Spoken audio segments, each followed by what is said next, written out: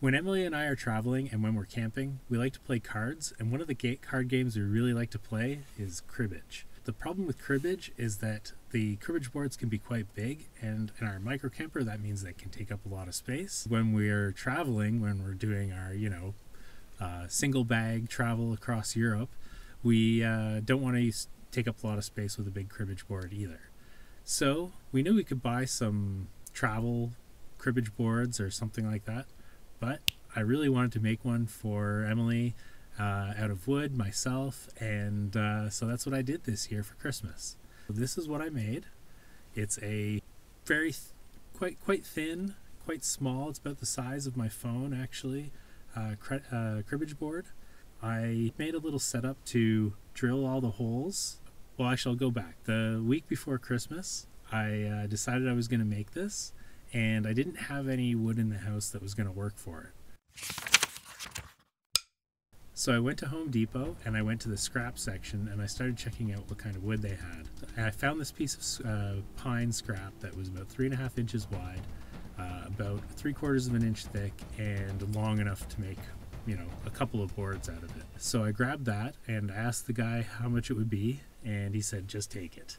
So it was perfect. I got some wood for free. I took it home and I knew that I was going to have to somehow thin it down from three quarters to three eighths thick, but I left that for a future Chris problem. Uh, then I made a setup using a plunge router and an electric drill. I basically glued the drill to the router, put some spacers in to make sure that the drill was straight up and down, set the router to be the right depth then started drilling the holes. So the holes, to get them in the right place, I printed a template that I designed in Inkscape. So that's a free software for making vector graphics. I came up with a design. It took some iteration to come up with the correct the right path that would fit in in this shape of a board using a two player version of cribbage because I we don't ever play three player cribbage so I figured that uh, two players would be good enough so I got that template printed, I cut it out, and then I used double-sided tape to attach it to the piece of wood. Put the piece of wood with the uh, cribbage board template. I put that down on a board, and then on top above that, I set up my router and makeshift drill press setup. I even actually glued the router to a board so that it was more stable, and then I just basically slid the board up and down the uh, the cribbage board, future crib- cribbage board, up and down, and drilled all the holes. And it's really easy. I just keep uh, had the drill set up with a plug and a power bar, so I could turn it on and off. And I had a piece of wood holding the trigger up, so that it would always be. It would basically just be an on-off. And so then I could push the router down, and it would push the drill. There was a little bit of wander in the you know, in the drill bit, it bends a little bit as it goes. Uh, if I was to make this again, I would probably shorten how much of the drill bit was exposed to try and improve that. So the, the holes aren't like perfectly straight, but I think it gives it a little bit of charm because it's got, uh, you know, the, the homemade uh, feel to it, but it's still, you know, it's they're close enough that you don't notice it right away if you're just to look at the board. So I got the whole thing drilled out and then I decided at that point I better get the board thinned down to the right depth uh, because I didn't want it to be a full three quarter inch piece. Unfortunately, I don't have uh, a planer or a table saw at home that I could do the splitting of this or planing it down very easily.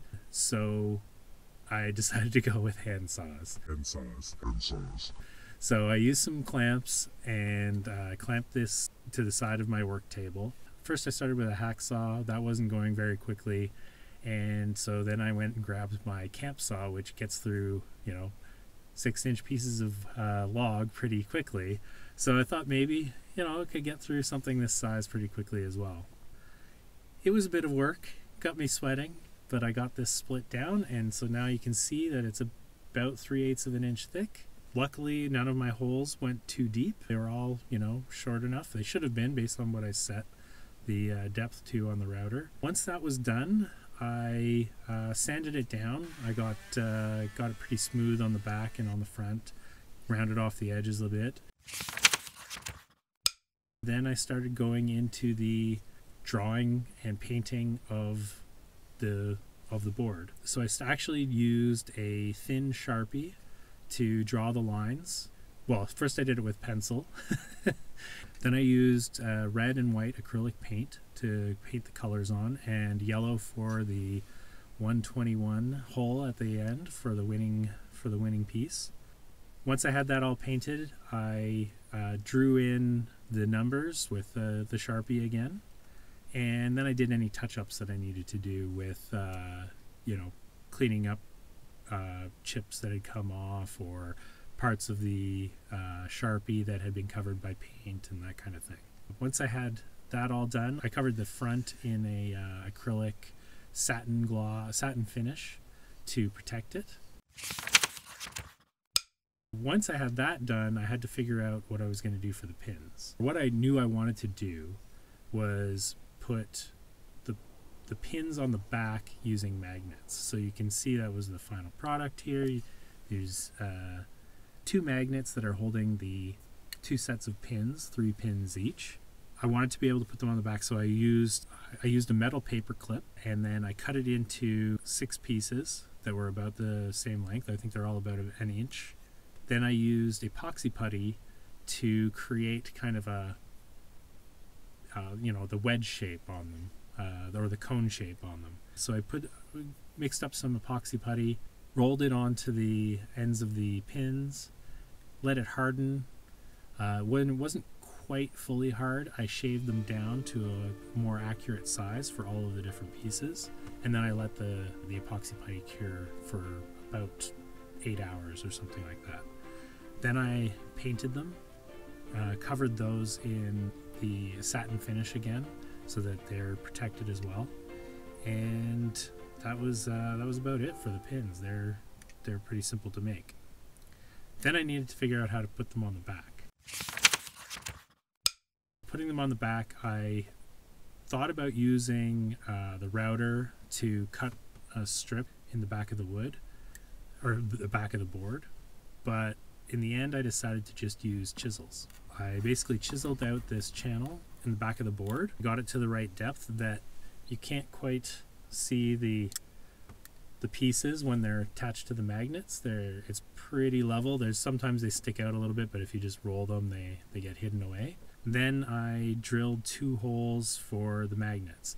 Now, unfortunately, I couldn't find my drill bit that was the right size for the, the magnets, and so I used a different one and I was a little worried that it was going to go too deep and then I would get holes right through the front and I did not want that. So I ended up just drilling a small amount and then chiseling out again the, the rest of the hole. And then I stuck the magnets in using epoxy glue, let it let it cure overnight and now everything's done.